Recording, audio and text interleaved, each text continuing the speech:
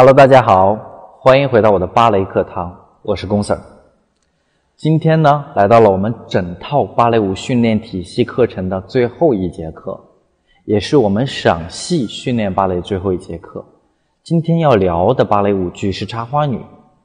不得不说，《茶花女》是我最喜欢的芭蕾舞剧，而我到底有多喜欢它呢？大家跟我一起听听看吧。它是由编舞家诺伊梅尔改编，搬上了古典芭蕾的舞台上。无论是从文学的角度来看，还是从芭蕾舞的改编角度来看，大家要知道，从文学名著改编成芭蕾舞剧是非常难的。因为一部非常经典的文学名著里面有很多的情感，有很多的角色，有很多人物的交错，无论是命运还是感情。但是通过芭蕾舞这一个单面向的舞剧。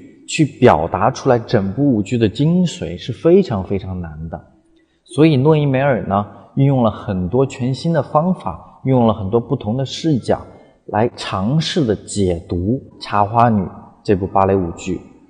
他同时呢也穿插了一部曼农芭蕾舞剧在里面。当然，在《茶花女》这部文学名著里面也提到了曼农这本小说，所以。诺伊梅尔的改编是无可厚非的。当我们在说芭蕾舞对于文学名著的改编的时候，编导多多少少要掺杂一些自己个人的理解和个人的情感在里面，这样呢才能让观众产生共鸣。如果是单纯的叙述故事的话，或许不同的观众会有不同的喜欢。但你如果能把你自己的理解和你自己对于这个角色的情感掺杂在这部舞剧里面，或许反而能更加突出。这个女主人公的悲惨。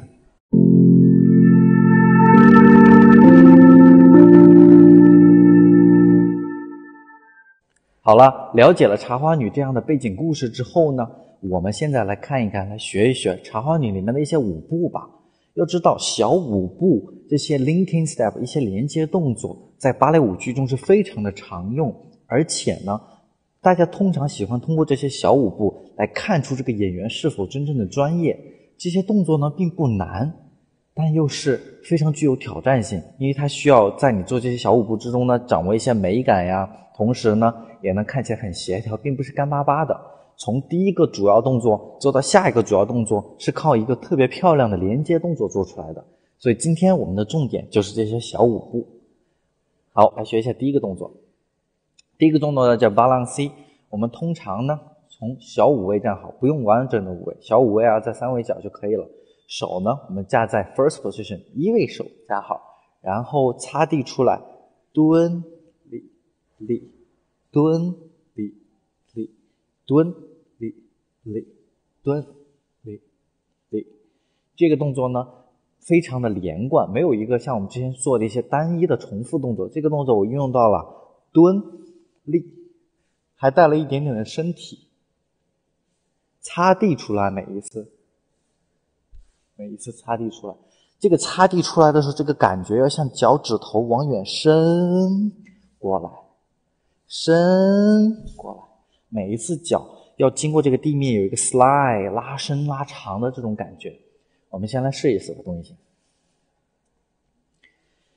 右脚在后，五六。一，走，and 一哒哒，二哒哒，三哒哒，四，非常好，很好很好，谢谢谢谢。大家在看完这个动作之后呢，有几个细节一定要注意。当你擦地出来，这只脚推过来的时候，不要停在这个地方，不要停在这个半空中。擦地过来的时候，第一下到后藏在你的主力脚后面，就会显得很好看。如果把这个动作做做在这里，就特别的邋遢，不够干净。一定要第一时间交叉，交叉到后面去，交叉到后面去。然后呢，立立立的这两下是个很自然、很抚随的一个动作，不要做的很刻意，像像这样子用力，像这样子用力，一定要是很随性的。二三，二三。对了，然后呢？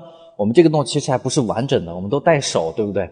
我们通常呢，最基础的啊，带手是一、二、三、二、二、三、三、二、三、四、二、三。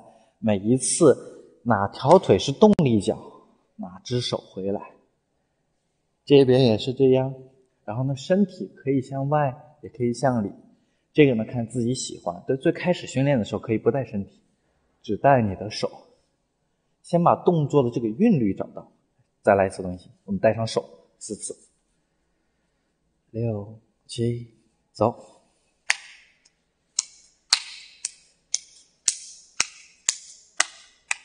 非常好，非常好。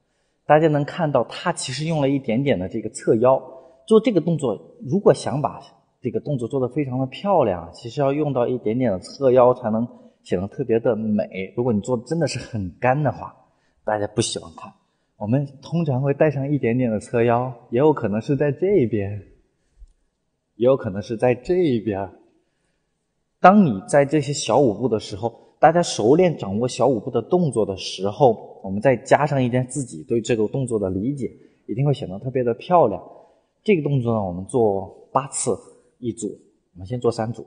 我们第一头四个我们做看里，后面四个我们做看外，好吗？好，带上手准备，六七走，三四看外五。六、七、八，非常好，非常好。在这个动作的时候，大家会觉得，哎，这个动作单独拿出来好像不是很眼熟，不知道在哪见过。其实，在很多很多的芭蕾舞剧，在很多很多的变奏里面都会用上。比方说，这个之后接一些很漂亮的动作，或者是男孩这个之后接一些转圈的动作，都是一些很漂亮的连接动作。这个动作叫 balance。大家呢跟着董老师一起。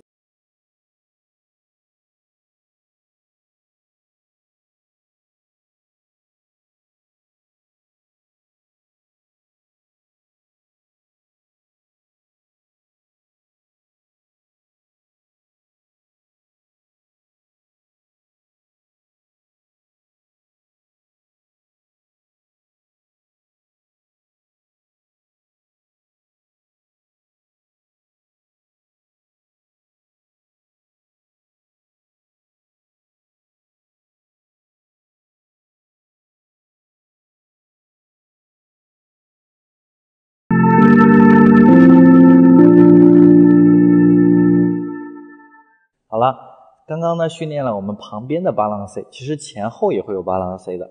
我们呢来试一下前后的动作，动作一样，但是通常我们可以后脚点地。我们今天这次后脚点地，手还是在一位手不变啊。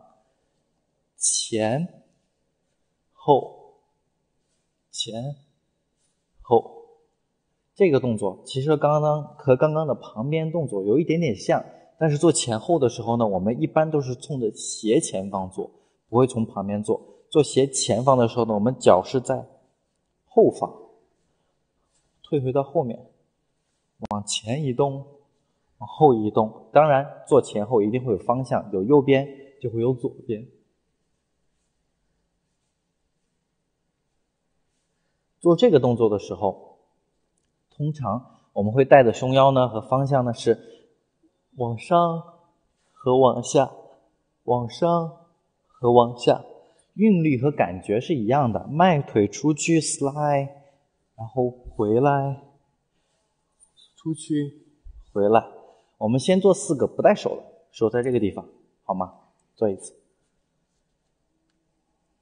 六七，走，一、二、三、四，非常好。好，我们做这个动作的时候，我们要注意。我们的身体不能出去之后低到这儿，大家其实是看似低，但我的下巴颏并没有完全下去。大家在讲这个芭蕾舞演员的头的时候，都觉得芭蕾舞演员的头特别高贵，特别有气质。恰恰就是因为我们在做一些很多低头弯腰的动作的时候，我们并不是真正的弯下去，而是一个垂目，用身体去弯，并不是动头。头抬起来可以，低下来的时候呢，通常是带一点点胸腰，而头呢保持这个距离不变，这是一个细节。这个细节大家运用到一些舞蹈动作里面呢，会对大家有很多帮助。好，我们带上手做一次，右边四次，左边四次，带上手。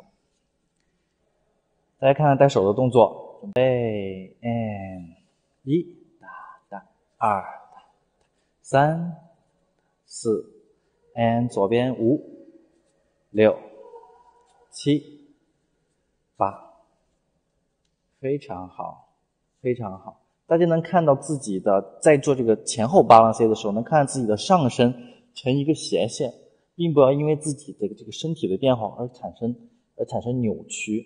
我们之前训练第一个部分有手的训练的时候，我一直要告告诉大家，要想象自己的手啊有一滴水是顺着下来的，回来的时候呢，也不要因为这里肩膀会有变化就断开了，也是顺着回来的。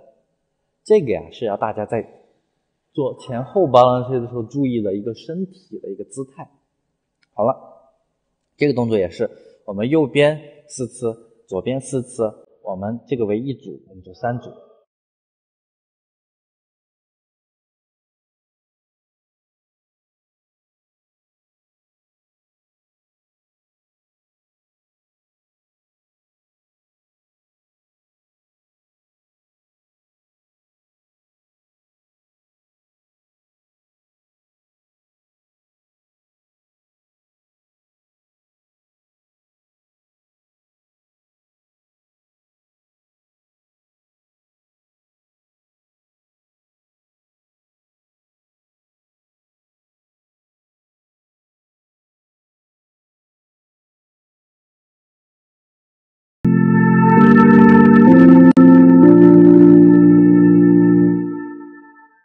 好了，结束了刚刚动作之后呢，我们来学下一个动作。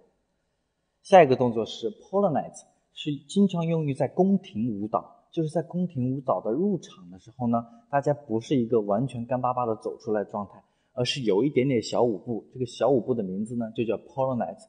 这个 Polonaise 同样是一种节奏类型。噔噔噔噔噔噔噔，OK，跟着我一起啊做一下。我们看一下动作很简单，我们先手叉腰吧，其实是手可以架在小七位的。然后我们先手叉腰，立起半脚尖来，一、二、三、二、二、三、三、二、三、四、二、三。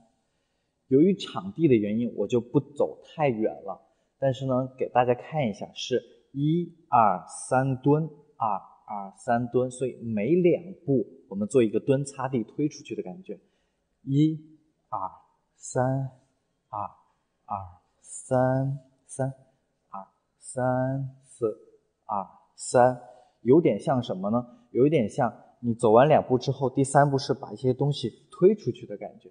这样呢，也能把自己的脚推长、推漂亮。当你在做这个动作的时候，尽量的带上一点身体，才能显得这个舞步好看。如果你是做这样很干的，没有身体，就会觉得啊，这个动作很无聊。但其实你当一二三。看一下这边，看一下这边的时候，带上一点身体，带上一点侧腰的时候，这个舞步走起来就会特别的漂亮。而且，如果是一大群人一起走出来的时候，这个气势就会特别的庞大。我们先东西做一次，我们叉腰做，大概是走四五步吧。好，五六七，走，一二三，二二三，三二三四。三，好的，谢谢，谢谢，谢谢。这个动作呢，其实非常简单，但是呢，如果你要配合上一些节奏，身体不要僵硬的去做这个动作的时候呢，反而就会有点难。因为一说走路，大家都会，但如果告诉大家这个走路是用在芭蕾舞里面，大大家也许就会有点僵硬啊。说龚老师说要带身体，就变成这个样子了。其实呢，要把它想象成你去参加一个宫廷的晚宴，你非常的自信。你就是王亲国戚，去参加这些晚宴的时候呢，你是非常，你是一个地位很高的人，穿着一个很高的跟儿鞋。大家要注意，在那个时代，男人也是要穿高跟鞋的，啊，要戴特别大的那个假发，然后走在路上，所以要特别低了这个感觉。因为男人的自己那个大袍子也很大，所以那手刚刚没有交手，手其实是架在这里。这个呢，在英皇的位首位叫 demi second。就是小二位，然后呢，在我们北舞或者俄罗斯体系里面叫小七位。这个地方我们往前走，一、二、三、二、二、三、三、二、三、四、二、三，要想象自己真的是穿着高跟鞋，很小心翼翼的在做这些动作。因为你比如说一下掉下来，好像就崴了一下脚一样，所以生怕自己崴脚呢，就是一个很低了起来的感觉。我们再特别优雅的做一次，动一下，带上手，六七，走，噔噔噔噔噔噔噔噔噔噔噔，谢谢，非常好。女孩是不是做这个动作还会拎起一些裙子，能看到自己的脚？拎起裙子看看自己的脚，因为裙子太大了嘛，是看不见的。这个动作呢，我们也是跟着董老师一起走四次，然后休息一下，做四次休息一下。我们反复的训练，做三组，好吗？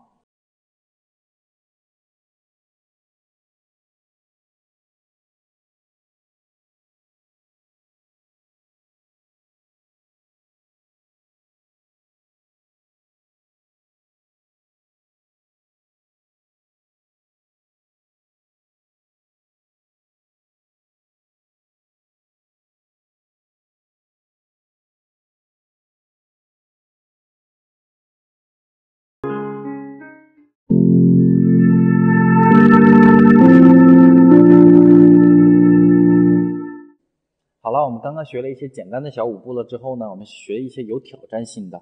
这个呢，在《Cinderella》在《灰姑娘》这个芭蕾舞剧里面，王子和公主他们相遇之后呢，在那个晚会上面，灰姑娘不是打扮的很漂亮嘛？有一个圆舞曲，圆舞曲呢有一个很基本的舞步，我现在教会给大家。这个动作有一点点的看起来很简单，但你真的实际做的时候有点点绕。我们先试一下，手呢还是从叉腰开始。跟刚刚有点像，先推地出去，立的时候转身，再推地出来。这动作有两种做法，第一个是迈出去，第二种是擦地出去，这两种都可取。这今天呢，我们可以两种都做一下，让大家体验一下，没有坏处。啊，迈出去，迈出去，这个，或者是擦地出去。擦地出去，这个动作有一点点移动在里面，单独个人也可以做。单独个人做的时候，带上一点点手，一、二，也会很漂亮。如果说是双人做的话，也可以。OK，我们先来试一下单独单独做的这个感觉吧。东西，我们先叉腰做一次，就做一个就行了。六七，走，一。二哒哒很好，我们做从那个角落，我们做一次反面，反面也是可以做的哈。六七走，一哒哒二哒哒，对了，很好。然后呢，做这个动作的时候，我们通常要注意一个问题，因为这个问题一定会影响后面的一个动作，就是你脚前进的方向一定不要岔开，就是你当你往前走的时候，我面对正面。你不要岔开做，一定呢是顺着一条直线做，顺着一条直线做。看着这有一条直线的话，我们是顺着直线走，顺着直线走，尽可能的不要一二三，二二三，有这么一个扫腿，不要。无论是你迈出去，还是擦地出去，我们都不要看见这么一个扫腿。如果有扫腿的话呢？就会影响到这个动作变成圆舞曲动作形式的时候，会会影响到那个跟舞伴的一些配合。好，我们现在试一次带上手，单人做呢是可以带上手显得好看的。我们做些带手的，也是右边做一次，左边做一次。七，好，一打打，二打打，好，我们往后退一点，我们做这边。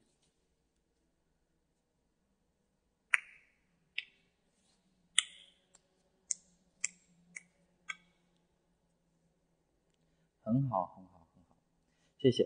所以大家能看到这个动作是非常的优美的。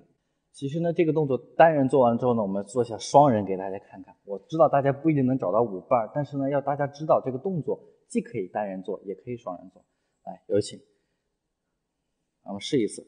一般都是男孩扶住女孩的这个肩膀下面，女孩呢手搭在男孩的肩膀上面，然后呢，我往前走，女孩往后走。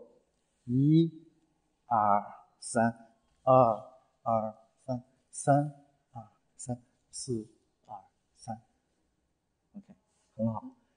这个呢也是呃，经常会用到一些一在一些圆舞曲里面，大家一起呃，好多对群舞呢绑在一起，大家一起旋转。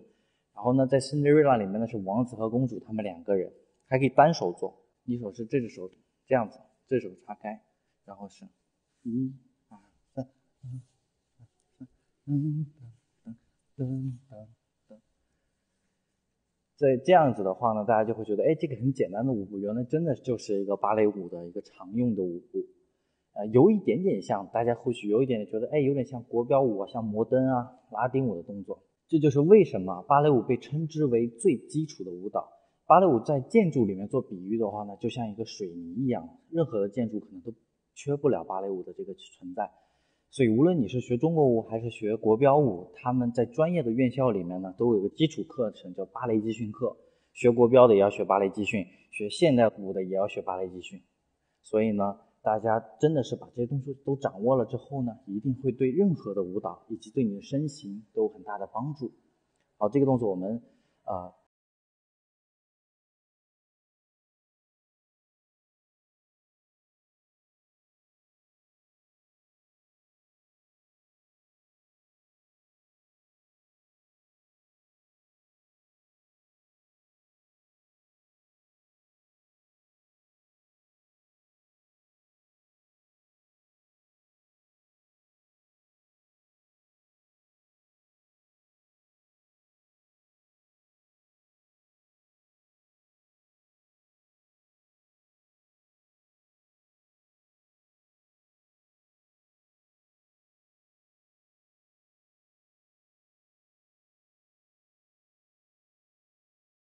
啊，经过了今天的课程之后呢，我们所有的课程就结束了。